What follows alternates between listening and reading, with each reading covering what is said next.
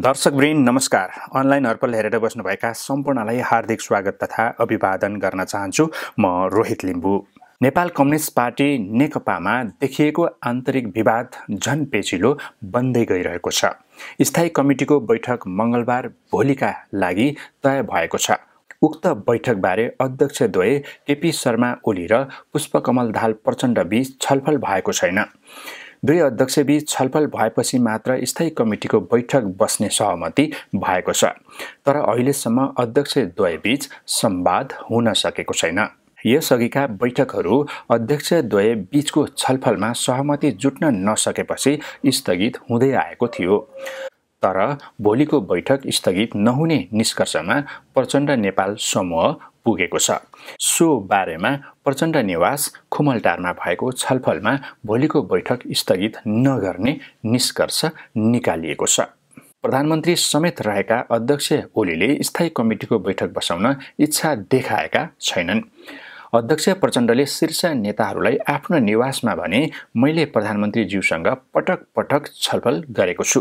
तर उहाँले स्थायी कमिटीको बैठकप्रति कुनै चासो देखाउनु भएको छैन। यो तरिकाले पार्टी कसरी अगाडि बढ्छ? पार्टीलाई अनिर्णयको बन्दी कहिलेसम्म बनाइराख्ने?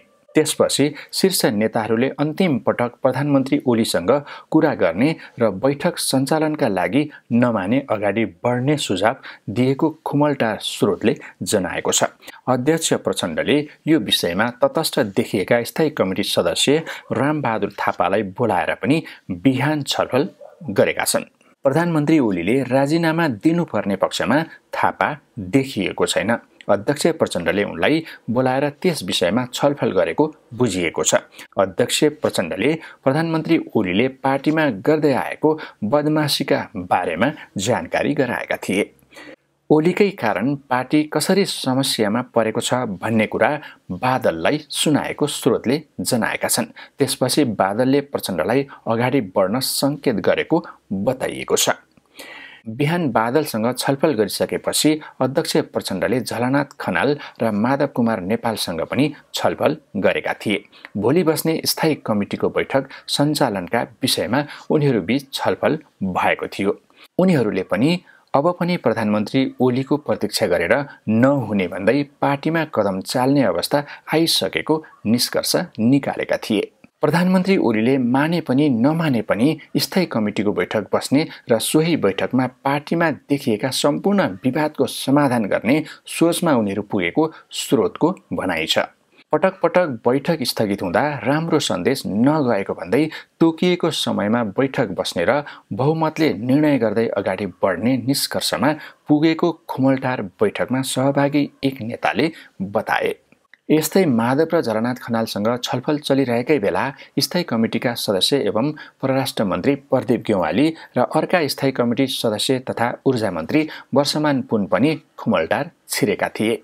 मन्त्री गेवालीलाई पनि प्रधानमन्त्री ओलीसँग सहमति नभए कति दिनसम्म पार्टीलाई अनिर्णयको बन्दी बनाएर राख्ने भन्दै बहुमतका आधारमा निर्णय गर्दै अगाडि बढ्नुको विकल्प नरहेको कुरा राखेका थिए। स्रोतका अनुसार त्यसको जवाबमा मन्त्री गेवालीले सर्वसम्मति नभए बहुमतको आधारमा अगाडि बढ्नुभन्दा अध्यक्ष द्वयबीच एउटा समझदारी बनेपछि मात्र अगाडि बढ्दा उचित हुने धारणा राखेका थिए। अध्यक्षद्वयको पहल र सहमतिमा पार्टी एकीकरण भएको र अब यसलाई कसरी जोगाउने त्यसमा गम्भीर हुन उनले आग्रह गरेका थिए। दुईजना अध्यक्षको बीचमा संवाद हुन जरुरी रहेको भन्दै उनले प्रचण्डलाई सुनाएका थिए। त्यसपछि अध्यक्ष प्रचण्डले नेकपाका उपाध्यक्ष वामदेव गौतमसँग छलफल गर्नका लागि उनको निवास पुगेका थिए। उपाध्यक्ष गौतमसँग पनि भोलि बस्ने स्थायी कमिटीको बैठकबारे छलफल गरेका थिए।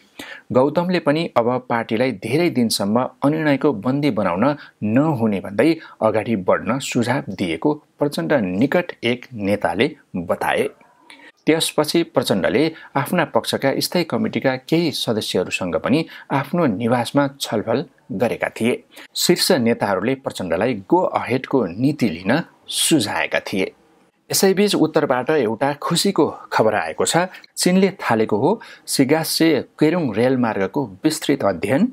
उत्तरी छिमेकी चिनले नेपालसँग जोड्ने भनिएको सिगासे केरुङ रेलमार्गको विस्तृत अध्ययन थालेको छ।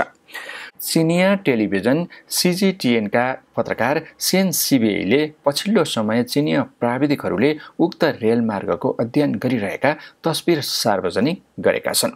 सिगासेदेखि केरुङसम्म पाँच सय किलोमिटर रेलमार्ग बनाउन चिनले यसअघि नै पूर्व सम्भाव्यता अध्ययन गरिसकेको थियो। यसपालि उनीहरूले विस्तृत इन्जिनियरिङ अध्ययन गरेको बताइएको छ।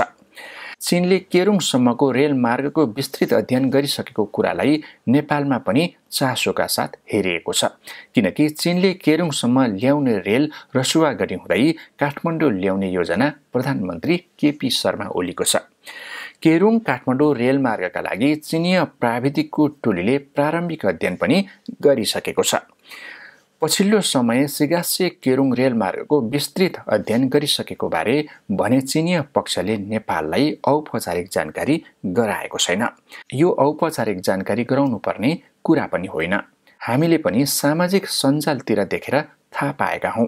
रेलवे विभागका महानिर्देशक बलराम मिश्रले भने उहाँहरूले आफ्नोतिर अध्ययन गरिरहनु भएको होला तर नेपालतिरको प्रक्रिया भने अहिले रोकिएको छ। गत मङ्सिरमा नेपाल र चिनिया अधिकारीहरू बीच काठमाडौँमा भएको बैठकले साढे दुई वर्षभित्र केरुङ काठमाडौँ रेलमार्गको विस्तृत अध्ययन सक्ने समझदारी गरेको थियो।